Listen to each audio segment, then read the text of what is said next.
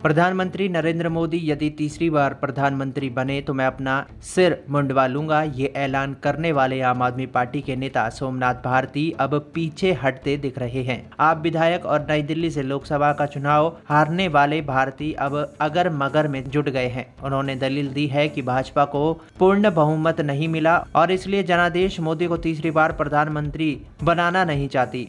दरअसल, एक बातचीत में सोमनाथ भारती ने कहा कि उन्हें नरेंद्र मोदी नहीं, उनकी नीतियों से दिक्कत है। आप नेता ने कहा कि मोदी जी को तीसरी बार बहुमत नहीं मिला, इसलिए उन्हें इस्तीफा देना चाहिए। भारती ने कहा, नरेंद्र मोदी जी से मुझे तकलीफ़ नहीं, तकलीफ़ है। जिस तरह का हुनर उन्होंने शासन के दौरान दिखाया, जनता जिसको मर्ज़ी है, लोकतंत्र में जनता मालिक है। चार सौ पार का नारा देकर जनता ने ये दिया उनको दो सौ चालीस सीटें। जनता ने नरेंद्र मोदी जी को तीसरी बार पीएम बनने का जनादेश नहीं दिया। उनको एक सौ 160 सीटें नहीं मिल पाई। नरेंद्र मोदी को नैतिकता के आधार पर इस्तीफा देकर चले जाना चाहिए, क्योंकि ये दायित्व जनता उनको नहीं देना चाहती। सोमनाथ भारती से उनके इस ऐलान पर प्रतिक्रिया मांगी गई थी कि मोदी की तीसरी बार पीएम बनने पर वो अपना सिर मुंडवा लेंगे। भारती ने अब इसमें अगर मगर लगाते हुए कहा, जहाँ तक सिर मुंडवाने की बात थी, मैं सनातनी हूँ। एक सनातनी के जीवन में जब घर में किसी की मृत्यु होती है तो संस्कार करने के बाद अपना सिर मुंडवाते हैं। नरेंद्र मोदी जी को यदि जनादेश मिलता, अपने अपने दम पर दो सौ बहत्तर सीटें मिलती तो हम कहते कि आपको जनता ने तीसरी बार पीएम बनने का